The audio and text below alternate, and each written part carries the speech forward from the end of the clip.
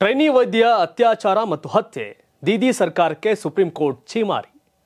ಕೋಲ್ಕತ್ತಾದ ಆಸ್ಪತ್ರೆಯೊಂದರಲ್ಲಿ ನಡೆದ ಟ್ರೈನಿ ವೈದ್ಯ ಅತ್ಯಾಚಾರ ಮತ್ತು ಕೊಲೆ ಪ್ರಕರಣಕ್ಕೆ ಸಂಬಂಧಿಸಿದಂತೆ ಮಾನ್ಯ ಸರ್ವೋಚ್ಚ ನ್ಯಾಯಾಲಯ ವಿಚಾರಣೆ ನಡೆಸಿದೆ. ಸುಪ್ರೀಂ ಕೋರ್ಟ್ ಮುಖ್ಯ ನ್ಯಾಯಮೂರ್ತಿ ಡಿವೈ ಚಂದ್ರಚೂಡ್ ನೇತೃತ್ವದ ತ್ರಿಸದಸ್ಯ ಪೀಠ ಸರ್ಕಾರಕ್ಕೆ ಕೆಲವೊಂದು ಸೂಚನೆಗಳನ್ನು ನೀಡಿದೆ. ಶೋಷಣೆಗೆ ಒಳಗಾಗೋ ಸಂತ್ರಸ್ತೆಯ ಗುರುತು ಪತ್ತೆಯಾಗಿರೋದ್ರಿಂದ ಸರ್ಕಾರಿ ಆಸ್ಪತ್ರೆಗಳಲ್ಲಿ ವೈದ್ಯರ ಭದ್ರತೆಗೆ ಸಮಸ್ಯೆಯಾಗಬಹುದು ಅಂತ ಕಳವಳ ವ್ಯಕ್ತಪಡಿಸಿರ್ತಕ್ಕಂಥ ನ್ಯಾಯಪೀಠ ಇಂತಹ ಪ್ರಕರಣಗಳಲ್ಲಿ ವೈದ್ಯಕೀಯ ಕಾಲೇಜು ಮತ್ತು ಪ್ರಾಂಶುಪಾಲರ ಪಾತ್ರದ ಬಗ್ಗೆ ಪ್ರಶ್ನೆ ಮಾಡಿದೆ. ಕೆಲಸ ಮಾಡೋ ಸ್ಥಳದಲ್ಲಿ ವೈದ್ಯರ ಸುರಕ್ಷತೆಗಾಗಿ ರಾಷ್ಟ್ರೀಯ ಕಾರ್ಯಪಡೆಯನ್ನ ಸ್ಥಾಪಿಸುವಂತೆ ಸೂಚಿಸಿರ್ತಕ್ಕಂಥ ಸುಪ್ರೀಂ ಕೋರ್ಟ್ ನ್ಯಾಯಪೀಠ ಕೂಡಲೇ ಮುಷ್ಕರವನ್ನ ಅಂತ್ಯಗೊಳಿಸಿ ಕೆಲಸಕ್ಕೆ ಮರಳುವಂತೆ ತಿಳಿಸಿದೆ. ರಾಷ್ಟ್ರೀಯ ಕಾರ್ಯಪಡೆಯು ಕೆಲಸದ ಸ್ಥಳಗಳಲ್ಲಿ ವೈದ್ಯರಿಗೆ ಸುರಕ್ಷತೆಯನ್ನು ಹೆಚ್ಚಿಸಲು ನೈತಿಕ ಮಾನದಂಡಗಳನ್ನು ಜಾರಿಗೊಳಿಸುವ ಗುರಿಯನ್ನು ಹೊಂದಿರಬೇಕು ಅಂತ ಸುಪ್ರೀಂ ಕೋರ್ಟ್ ನಿರ್ದೇಶನವನ್ನು ನೀಡಿದೆ.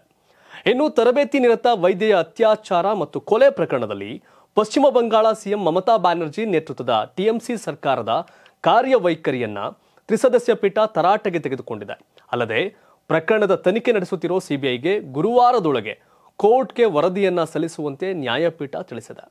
ಇದರ ಜೊತೆಗೆ ಈ ಘನಘೋರ ಕೃತ್ಯ ನಡೆದ ಆಸ್ಪತ್ರೆ ಇಪ್ಪತ್ನಾಲ್ಕು ಗಂಟೆ, ಈ ಆಸ್ಪತ್ರೆ ಇಪ್ಪತ್ನಾಲ್ಕು ಗಂಟೆ ಭದ್ರತೆ ನೀಡೋದ್ರ ಜೊತೆಗೆ ಪೊಲೀಸರ ಕರ್ತವ್ಯ ಇದು. ಹೀಗಿರುವಾಗ ಆರ್ಜೆ ಕಾರ್ ಆಸ್ಪತ್ರೆಯನ್ನ ಧ್ವಂಸಗೊಳಿಸಲು ಉದ್ರಿಕ್ತರಿಗೆ ಪಶ್ಚಿಮ ಬಂಗಾಳ ಸರ್ಕಾರ ಹೇಗೆ ಅನುಮತಿ ನೀಡಿದೆ ಅಂತ ಅರ್ಥ ಮಾಡಿಕೊಳ್ಳಲು ಸಾಧ್ಯ ಆಗ್ತಾ ಇಲ್ಲ.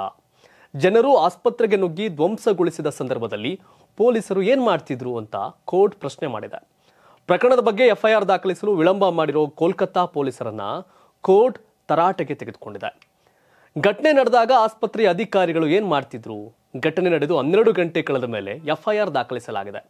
ಎಫ್ಐಆರ್ ದಾಖಲಿಸಿಕೊಳ್ಳಲು ಪೊಲೀಸರು ಇಷ್ಟು ಗಂಟೆ ಕಾದಿದ್ದು ಯಾಕೆ ಅಂತ ಸುಪ್ರೀಂ ನ್ಯಾಯಪೀಠ ಪ್ರಶ್ನಿಸಿದೆ. ಇದೇ ವೇಳೆ ಘಟನೆ ಖಂಡಿಸಿ ಬೀದಿಗಿಳಿದಿರ್ತಕ್ಕಂಥ ಪ್ರತಿಭಟನಾ ನಿರತರು ಹಾಗೂ ವಕೀಲರ ಮೇಲೆ ಕ್ರಮಕ್ಕೆ ಮುಂದಾಗಿರ್ತಕ್ಕಂಥ ಮಮತಾ ಸರ್ಕಾರವನ್ನು ಇಗ್ಗಾಮುಗ್ಗಾ ತರಾಟೆಗೆ ತೆಗೆದುಕೊಂಡಿರ್ತಕ್ಕಂಥ ತ್ರಿಸದಸ್ಯ ಪೀಠ, ನಿಮ್ಮ ಅಧಿಕಾರವನ್ನು ಪ್ರತಿಭಟನಾಕಾರರು ಮತ್ತು ವಕೀಲರ ಮೇಲೆ ತೋರಬೇಡಿ ಅಂತ ಛೀಮಾರಿ ಹಾಕಿದೆ.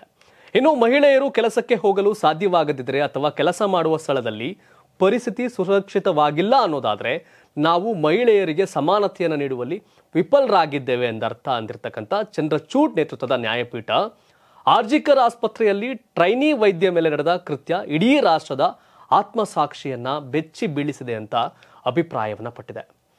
ಈ ಬಗ್ಗೆ ತಾವೇನು ಹೇಳ್ತೀರಿ? ಕಾಮೆಂಟ್ ಮಾಡಿ ತಿಳಿಸಿ. ಧನ್ಯವಾದ. ಇದು ಕರ್ನಾಟಕ ಟಿವಿ, ಕನ್ನಡಿಗರ ಧ್ವನಿ.